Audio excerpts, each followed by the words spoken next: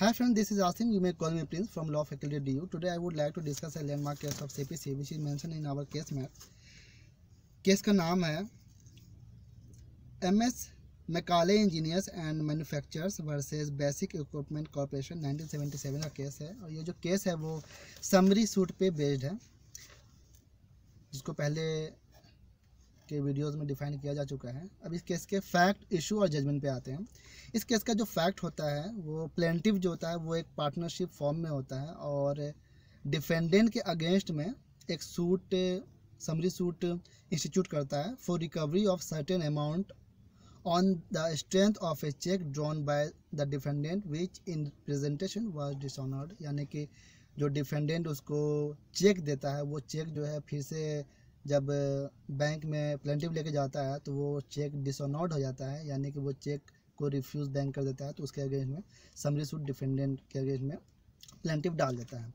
तो चूँकि वो जो सूट है, वो समरी सूट होता है तो डिफेंडेंट को अपने आप को डिफेंड करने के लिए सबसे पहले कोर्ट से ग्रांट एक लीव के लिए अप्लीकेशन देना होता है, और लीव जो है, वो अनकंडीशनली जो है ट्रायल कोर्ट के द्वारा ग्रांट कर दिया जाता है। लेकिन जब प्लेंटिव जो है अपील करता है हाई कोर्ट में तो हाई कोर्ट जो है, वो कहता है कि डिफेंडेंट का जो डिफेंस है, वो बोनाफाइड नहीं है, इसलिए डिफेंडेंट के लीव एप्लीकेशन को सेट असाइड कर देता है। तब मैटर जाता है सुप्रीम कोर्ट में। अब सुप्रीम कोर्ट के ऑब्जर्वेशन और डिसीज़न को देखते हैं। सुप्रीम कोर्ट का जो ऑब्जर्वेशन होता है, वो ये होता है कि सुप्रीम कोर्ट जो है, वो हाई कोर्ट के जजमेंट को, यानी कि हाई कोर्ट जो उसके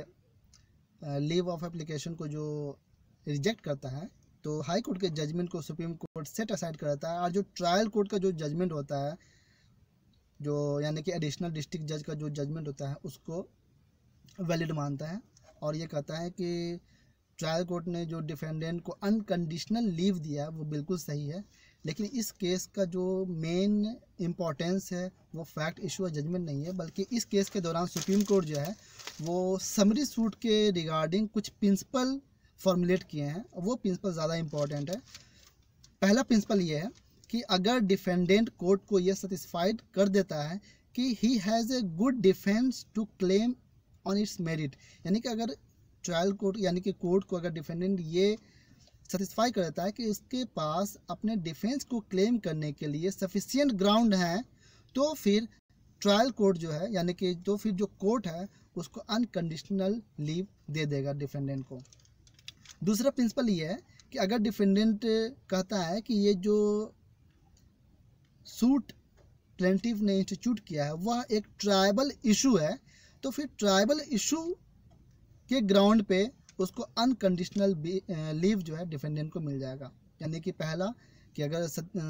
वैलिड ग्राउंड है तो अनकंडीशनल लीव मिल जाएगा। दूसरा ट्राइबल इशू है तो भी अनकंडीशनल लीव मिल जाएगा। लेकिन तीसरे केस में सुप्रीम कोर्ट कहती है कि अगर डिफेंडेंट का जो डिफेंस है वो एल्यूजरी है, या फिर मेलोफाइड है, या फिर मिस रिप्रेजेंट कर रहा है, या फिर फ्रॉड है, या फिर शेम है तो फिर डिफेंडेंट को लीव नहीं मिलेगा अपने आप को डिफेंड डिफेंड करने के लिए। तो ये जो प्रिंसिपल्स हैं, ये बहुत ही इंपॉर्टेंट है इस केस के, और ये इस केस के फैक्ट इशू जजमेंट थोड़े से इंपॉर्टेंट है, लेकिन इसका प्रिंसिपल सबसे ज़्यादा इंपॉर्टेंट है। तो एग्ज़ाम में अगर ये केस आया तो प्रिंसिपल पर फोकस करना ज़्यादा ज़रूरी होगा। आई होप कि आपको ये समझ में आया होगा।